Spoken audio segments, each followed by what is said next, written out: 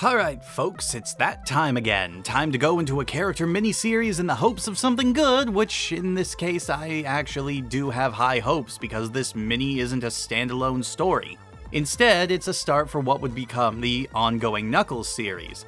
The cover is pretty damn nice, with Knuckles protectively standing before the final Chaos Emerald keeping the island afloat, while two silhouetted heads float in front of the floating island and a more menacing being hovers above it all, looking down with a scream on its lips. It's an effective visual, though the low opacity on the floating heads makes them look odd against the detailed backdrop of the floating island. And then there's this fiery silhouette that's just shoved onto the cover there with very little rhyme or reason. It draws your eye for the wrong reasons and it looks really out of place. We open up on oh my god, this artwork is gorgeous. After issue upon issue of dealing with Ken Penders' artwork, I'd forgotten that Knuckles could look this good.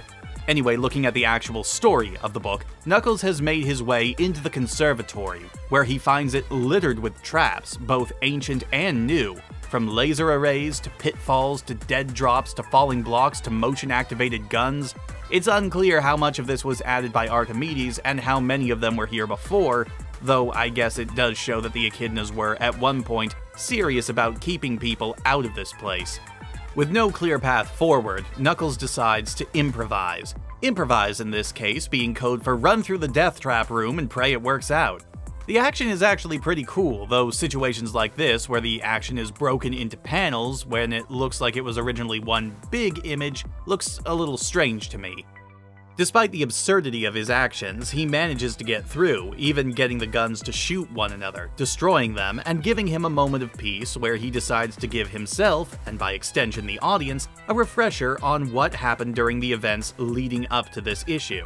And man, these floor panels here really make me wish we could have had this artwork instead of Ken leading up to this. Even if Knuckles does look a little dopey in this one panel. Duh. After a second page of recap, we go all Indiana Jones as Knuckles is chased down a massive hallway with a large boulder in hot pursuit.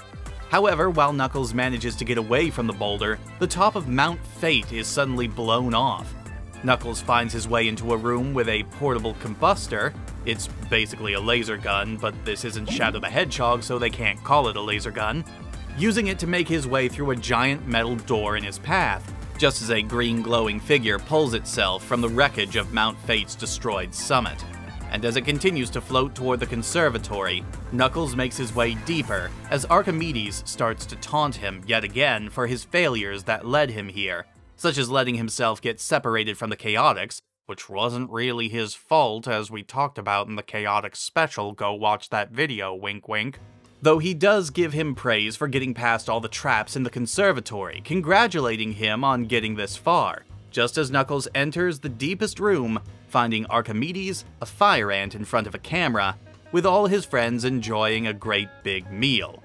Knuckles, while he's glad to see his friends aren't harmed, isn't very hungry and demands some answers as to what the hell has been going on around here, he pieces some of it together concerning how he hardwired the robots and traps in the conservatory, and how that explains how he managed to capture the separated Chaotix, though I'm pretty sure the thing that grabbed Espio didn't look anything like that. But he asks how the ant was able to appear and disappear, hound him for so long, and carve his name into solid rock. Archimedes demonstrates that he's a rather capable illusionist, disappearing and reappearing in a puff of smoke, and then demonstrating how fire ants in this world got their name, able to breathe a burst of fire in front of them. Knuckles isn't really impressed and still pretty peeved about what's going on. And finally, it looks like we're about to get some answers, as the ant states that his people have been helping to pull echidnas out of the fire since the origin of the floating island.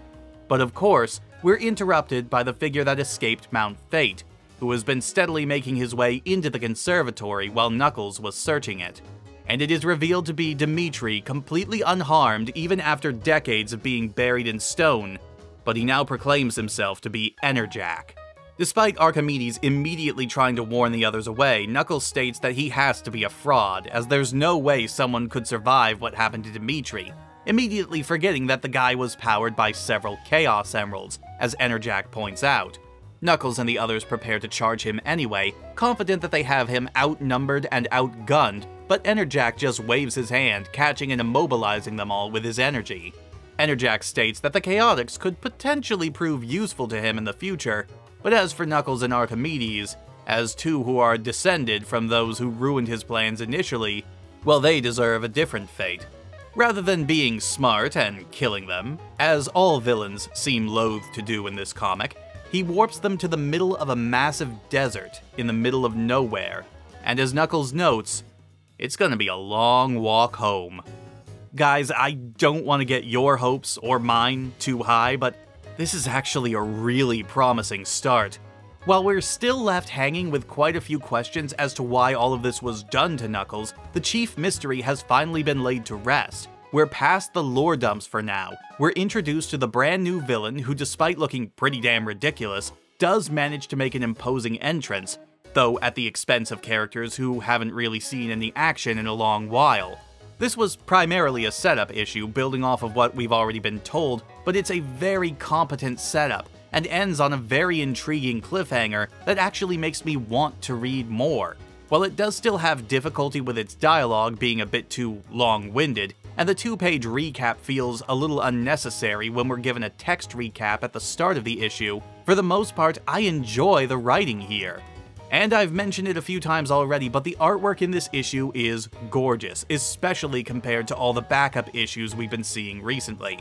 Art Mawhinney is once again our artist, and my god, does he bring his A game in this issue. And his excellent pencils and Harvo's inking is only enhanced all the more by the great coloring and shading of Kyle Hunter, who, to my knowledge, we haven't seen working on this comic before, and he makes a really good first impression here. There are a few hiccups here and there, where Knuckles looks a tad warped, and I honestly do have a hard time taking Enerjak seriously when he's in that weird getup. Where did he even get that stupid headpiece, anyway? But for the most part, I have nothing but positive things to say about the art and the issue in general. It's an impressively strong start, probably the strongest of the three character minis we've had to date. Next time, we'll continue the story with issue 2, and I really hope I haven't hyped myself up for nothing this time. See you all next time, everyone.